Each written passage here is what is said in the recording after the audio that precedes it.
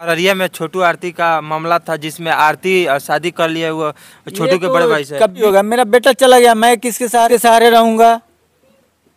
और बात आप बोल रहे थे कि लड़की को प्रशासन लेके यहाँ पहुँचाया लेकिन लड़की बोल रही है कि हम खुद है, रास्ते नहीं प्रशासन लेकर नहीं आया है। मैं कब बोला से मैं तो यहाँ था ही नहीं तो मैं कब देख लिया से लड़की अपने आप आई कि प्रशासन द्वारा आई? मैं तो देखा ही नहीं। मैं तो ये पच्चीस तारीख के रात का घटना है, छब्बीस तारीख को मुझे मालूम हुआ, सत्ताईस तारीख को तीन बजे मैं यहाँ आया। तब मैं कैसे जानूँ से वो लड़की किसके साथ आई, कहाँ से आई, कैसे आई कै बजे आई? ऐसे मुझे फ़ोन पर पता लगा से ऐसे ऐसे वो एक बजे के करीब में वो मेरे पास आई है, मेरे घर पे। तब मेरे घर पे ताला लगा हुआ था। फिर मेरे भाई का घर पे वो रही है, जब मैं यहाँ आया, फिर मेरे पास आई है वो। अच्छा क्या लगता है इस लड़की को यहाँ रहने से इंसाफ आपको मिल जाएगा? आपका लड़का वापस आ जाएगा? ये अभी मुझे कोर्ट में ये बयान देगी ये अपना जो भी। चौंसठ का जो भी देखी है वो कोर्ट में देगी उसके बाद में प्रशासन खुद इसको रखेगी उसके बाद जो प्रशासन अच्छा, क्या जैसे- करेगी वो अपना करेगा। अच्छा जैसे अररिया में छोटू आरती का मामला था जिसमें आरती शादी कर लिए वो छोटू के तो बड़े भाई से? कभी नहीं होगा। उस तरह का नहीं होगा? ये तो कभी नहीं ये तो सोचिएगा भी आप लोग मत। कहीं वो सोच कर आई होगी तो? नहीं नहीं ये तो होगा ही नहीं। उसके सोचने से थोड़ी होगा। मेरा बेटा चला गया मैं किसके सहारे उसको रखूँगा? मैं किसके सहारे रहूँगा? अच्छा उसके बारे में कुछ सोचे आप? हैं? उस लड़की के बारे में कुछ सोचे? मैं क्या वो थाना सोचेगा मैं कुछ नहीं सोचूँगा।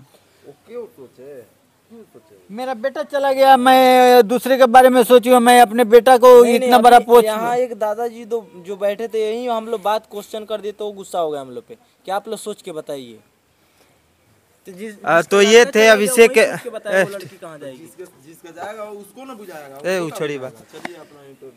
तो ये थे अभिषेक के पिताजी। तो ये देख सकते हैं काफ़ी दुखी हैं अपने बेटे के न्याय के लिए लड़ रहे हैं और पुलिस प्रशासन जो है लापरवाही कर रही है। लड़की भी बोली एक पहले वीडियो में फ़र्स्ट वीडियो में बोली थी कि उसका भाई उसको एक कमरा में बंद कर दिया था और दो भाई मिल के मार रहे थे। तो फिर ये लड़की कैसे देख ली कि दो भाई मिल के मार रहे हैं? वही ना मुझे अथी है दो भाई ही मार रहे हैं। फिर कहती है एक चाचा का नहीं एक मिनट। वो जैसे मेरे एक चाचा का लड़का है प्रिंस। वो जंगले से बोल है भाई छोड़ दे वो मर जाएगा। तो प्रिंस भी तो जाकर आगा बोल सकता था। बिल्कुल बिल्कुल। ये सारे साजिश ना था। हम्म प्लानिंग था। ये प्लानिंग की तहत ही मारा गया है ना उसको?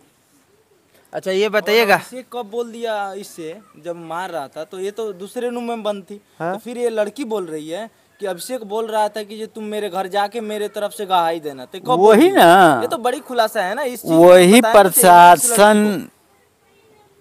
ये चुप्पी साधी हुई है। उन लोगों को सोचना चाहिए कि इस तरह की मामला है यदि तो इतना लापरवाही क्यों हो रहा है? और जो लापरवाही कर रहे हैं, उनके ऊपर क्या होनी चाहिए? तो आप लोग समझ कर जो भी उन लोगों पे कार्रवाई करनी हो कीजिए और जो भी आरोपी है, उन लोगों को पकड़ना है तो पकड़िए, नहीं तो ये रुकने वाले नहीं है, आगे भी जाएँगे और आप लोगों को मुश्किल हो जाएगा। तो चलिए मिलते हैं फिर किसी दूसरे वीडियो में, तब तक के लिए जय।